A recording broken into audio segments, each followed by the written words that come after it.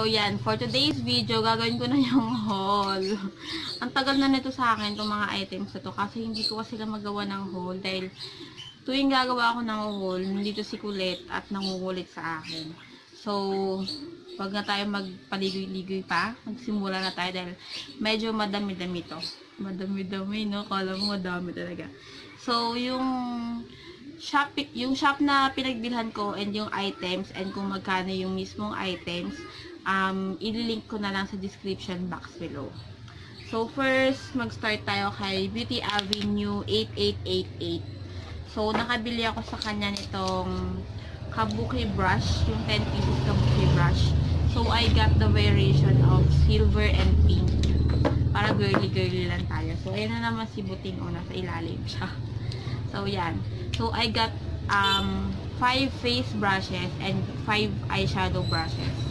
So, hindi ko siya isa-isahin na pero may mga opinions ako dun sa mga kasi namid nakabili pa ako ng isang gantong set. So, yun. Meron lang akong comparison na na, na napansin ko lang o yun. So, eto nabili ko siya for 110 pesos. Yan, good touch na siya kasi maganda siya, magaganda yung mga brushes, soft, tsaka yun, wala siya masyadong fallouts. Tapos, I got this mushroom brush. Maganda to pang blend, ay pang apply ng foundation, promise, as in. Hindi siya ganun ka-dense, kasi nakakagalaw pa rin yung mga bristles nung brush. Kaya na, na, i, na i-distribute niya ng maayos yung product. And hindi siya, hindi siya katulad nung yung naunang version ng Kabuki brush, yung maliliit talaga. Sorry, medyo maingay kasi nasa tabi tayo ng bahay namin, I mean, ay nasa tabi ng daan. So, yun. Balik tayo. Yung, kasi yung naunang kabuki brush, yung maliliit yung bristles, yung maiikli siya, um, madali siyang sumipsip ng ng ng product kaya yun lesser na napupunta sa iyong skin yung product mas madami siyang nasisipsip kaysa sa nai-apply mo. So eto naman hindi siya masyadong yun nga sumisipsip ng product and maganda yung application niya. And yun mas ma mas makapal siyang mag-apply kasi sa mga sponge. Ganun. so I got this for 80 pesos. And then, I bought then etong fake na Real Techniques na blending blending sponge. Beauty blender. Anong blending sponge? And sira-sira na siya, oh. Tingnan nyo. Kasi kinagat na to ni Tintin. Pinaglaruan niya na. Yan. So, sobrang lambot niya. Kahit sira na siya, nagagamit ko pa to. And, ayun, sobrang lambot. Lalo pagbasa. Ito tuyo siya eh. Yan. So, I got this for 55 55 pesos. Oh, 55. Sobrang soft niya talaga. Yan. So, ayun. And, eto, nakabili din ako sa kanya nitong yung mirror, yung umiilaw. Ganon. Yan. Ito siya, oh. Yan siya. So, I bought this for 290 pesos. Yun. Wala siya kasamang battery ha, kung ano. Yan, dalawa, uh, umiikot siya. Yan, pwede siyang paikutin ng ganyan. Tapos, um, apat na battery yung kailangan mo para umilaw siya. Yan. So, yung second store na pinagbilhan ko is si Gina Tan Store. Kasi napansin ko ang daming nag-order sa kanya. And, yan. Tintin umiinom. Yan. And napansin ko kasi talaga madaming nag bumibili sa kanya. So, tinry kong mamili sa kanya. Yan. So, una I got this kabuki brush. Same lang din sa isa pero yung quality as in ibang-iba yung quality na nakuha ko kaysa dito sa Ginatan Store. So, I bought this for 105 pesos. Yan. So, eto, ganun din siya yung you'll get 5 um, face brushes and 5 na eyeshadow brushes. So, ito yung, ito yung difference na napansin ko. Hmm, nag-umpisa din din. Yan. So, una, yan. As you can see, mas malaki yung kay Beauty Avenue. Diba? Mas matangkad. And yung bristles niya, mas madaming bristles. Itong kay hair, basta ang tawag nyo dyan. Mas madaming hair strands. basta ganun, mas madaming um, yun nga, bristles yung kay Beauty Avenue kaysa dito kay Jonathan Store. Tingnan nyo ha. Ayan o. Oh. Kung mapapansin nyo. Pag ginanto ko siya, ayan o. Oh, tingnan nyo. Diba? Ayan o. Oh. Samantalang ito, hindi mo siya masyadong mapipress. Unlike ito, lalo pag nilabhan mo siya, parang wala na siyang laman. Unlike ito, ganun pa rin siya, yung parang medyo iikom lang siya, pero hindi siya mawawala na.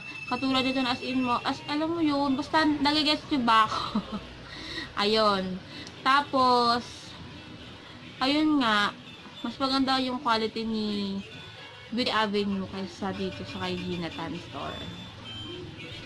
And for 5 pesos, 'di? Yun lang yung kakulangan, 5 pesos. Pero okay lang naman dahil hello, 105 lang naman tong yung set na ito. You'll get this for 10.50, 'di ba? Oh, not bad na rin. Yan. So, ayan.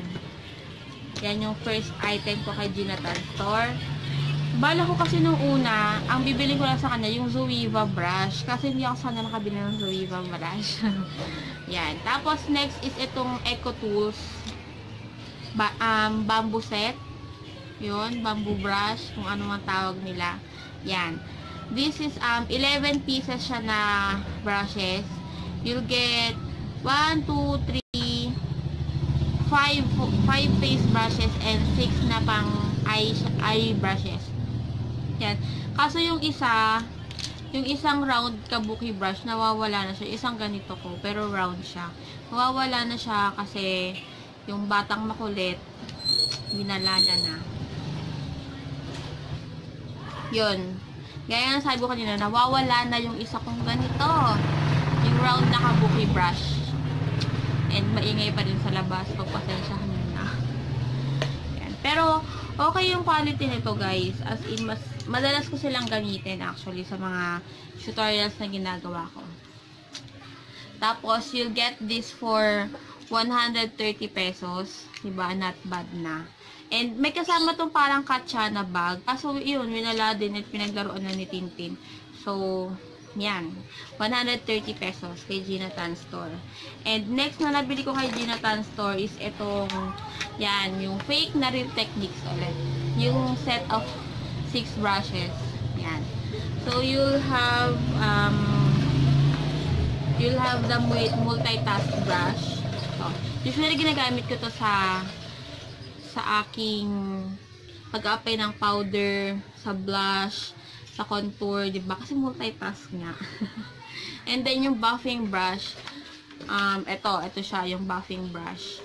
Ginagamit ko to kadalasan sa aking blush. Yan. Pero, dapat ano siya eh, yun, ideal for full coverage application of powder and mineral foundation. So, pwede siya sa foundation, yung mga liquid foundation. Pero hindi ko pa na-try sa, sa liquid foundation. Tinry ko lang siya sa blush, sa mga powders, yun. And then, you'll have the essential crease brush, this one. Yan, maganda yan pang-apply ng mga eyeshadow for crease areas. Yan. Nakalagay dito, soft taper design for effort, effortless contouring. So, pwede rin siya sa nose contour. Yan. And then, you'll have the setting brush. This one. Nakalagay dito, set, setting brush. Complete any look with with a controlled dusting of powder or highlight. So, pwede siyang pang-highlight. Bakit ganun uh, nagda-darken ako? Kung nagda-darken, lumililim ako. Yan. And then, you'll have the fine liner brush. Hindi ko pa ito nagagamit actually. Yan. Pero feeling ko magagamit ito pagka yung gagawa ka ng look, yung may mga freckles-freckles, kunwari. Yan. Pwede siya.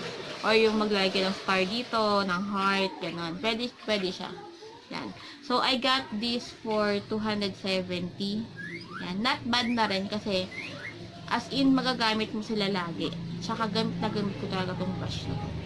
Ganyan. Kung mapapansin nyo, ang dudumi na na. Pero nasa box ka rin. Pampapanggap lang. Yan. Yan. So, that's it for Ginatan Store. And next na nabilhan ko is yung si Smile underscore Melo. medyo I think dito ako medyo madaming nabili. 5 items. Ganun.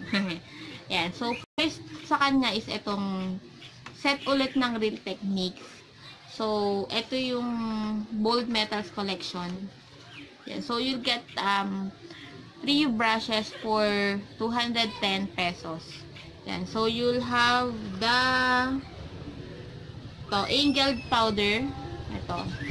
Ito ginagamit ito usually sa pagko-contour, sa paglalagay ng powder, setting powder yan. And then, the oval shadow. Asan yung oval shadow? Ito. Ito yung oval shadow. Yun ba?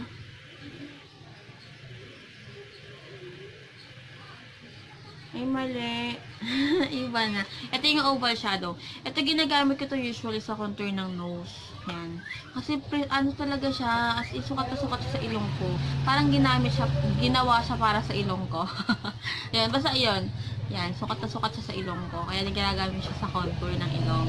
And then, this one, uh, pwede po to siyang gamitin sa mga, um, hindi ko pa siya nagagamit actually, pero feeling ko pwede mo siyang gamitin sa mga, yan, highlight, yung blush, yan.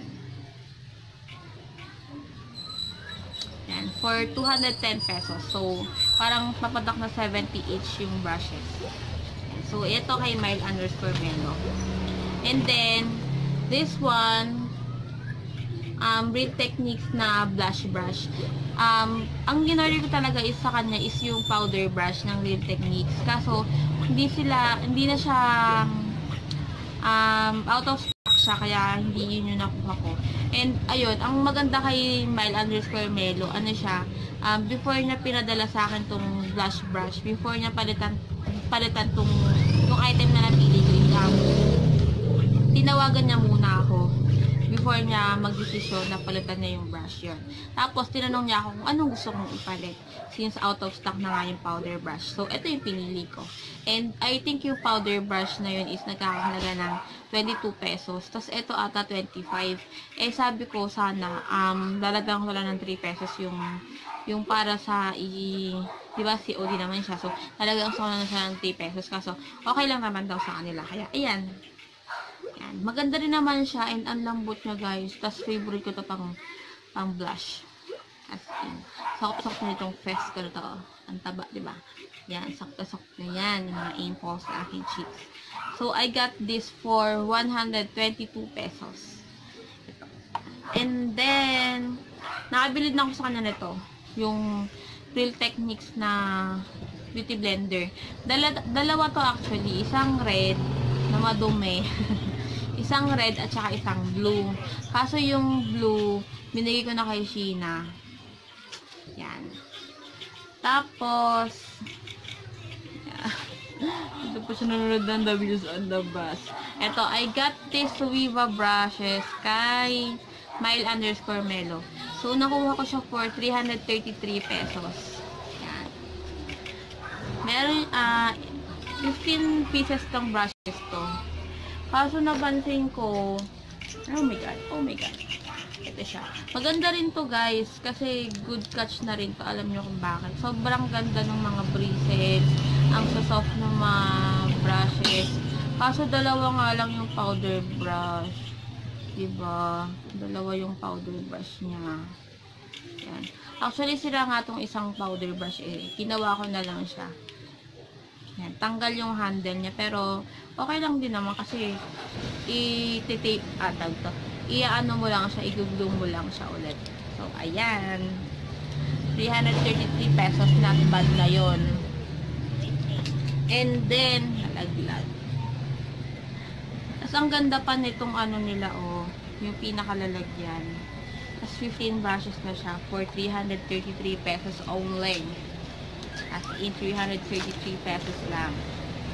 Yan. So, ang ganda pa nito, oh, yung quality nung nung lalagyan niya, nung pouch niya. As yung zipper, ang ganda. Parang hindi siya tinipid, ganun. Hindi halagang 333, may lining pa siya sa loob. Wala nga lang yung ano niya, yung sa totoong Subiva brush, yung mayroong, di ba may inner pocket pa yun? Kasi ito wala. Pero ang ganda na rin, as in, ang ganda ng tela niya. Yan, yung tela niya. Actually, ito nga ginagamit kong makeup ano ko eh, makeup bag. Tapos, ang laki niya, oh, di ba? So, yan. 333 lang siya.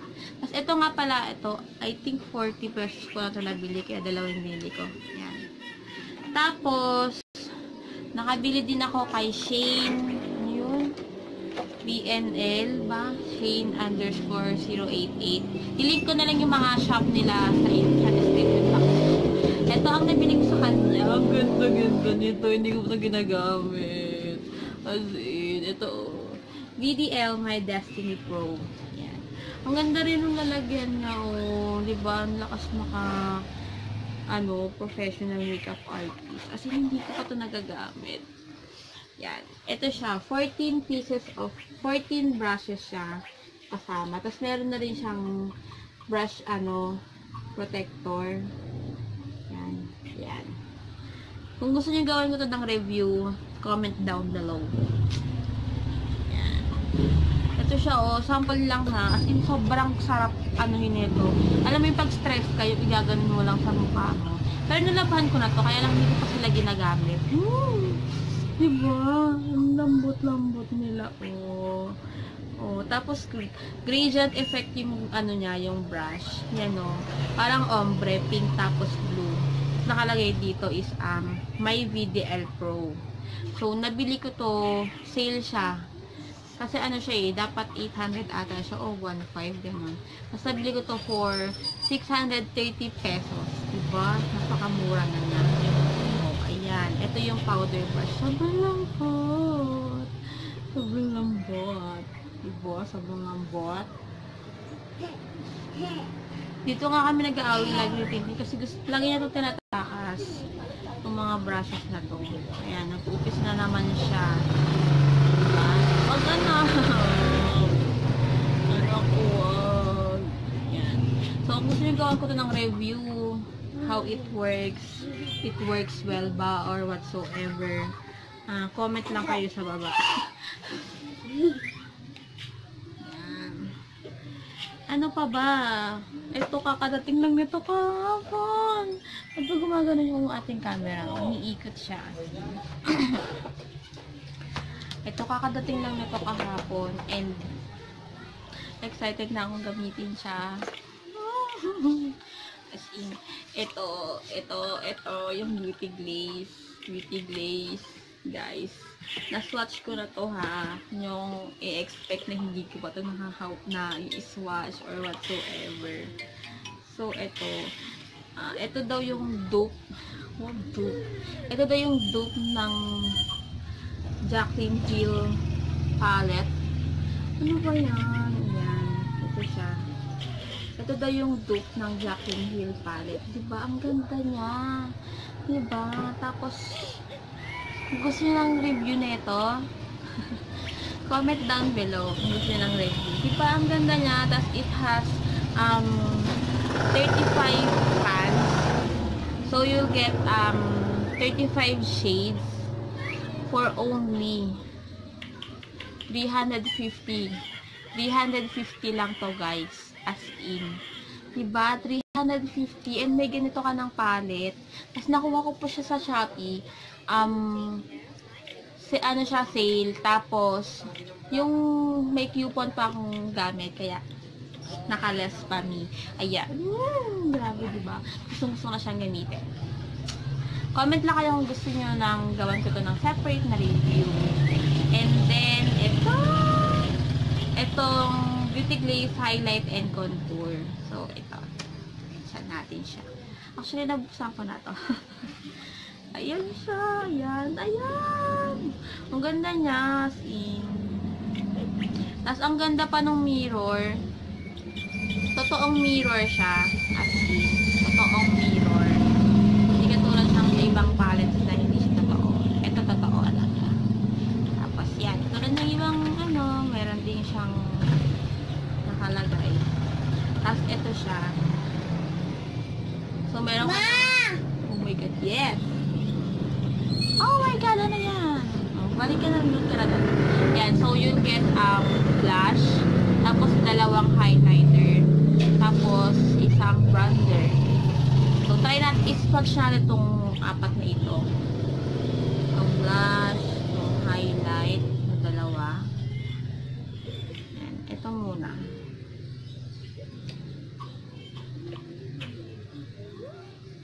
Kita nyo ba? Hindi nyo kita. Sulitin nga natin ang swatch.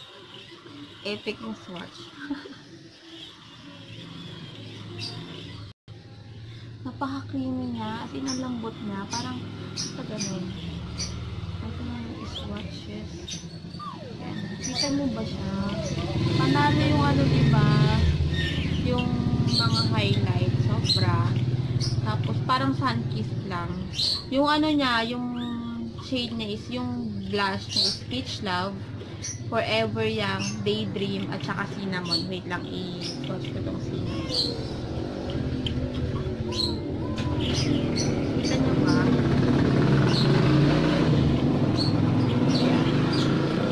Hindi nyo makita kasi kakulay ko. Bakit ganun? Dito na lang natin i-swatch para kita nyo.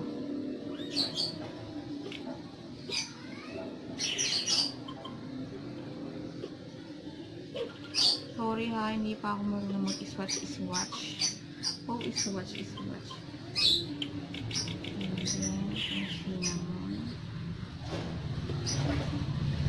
Bakit ganun? Parang hindi nakita tayo yung cinnamon. Ito siya guys. Diba? ang sagwa ng swatch ko. Bakit? Diba? Pero ang ganda niya, as in. Natry ko na to. Sobrang ganda niya. Tapos mag-try tayo mag-swatch doon sa sa Impress You na palette. Yes! Ang gulo-gulo ng buhok niya kasi kakag-kakagising na lang. So, i-swatch natin first row dito. So, ayan.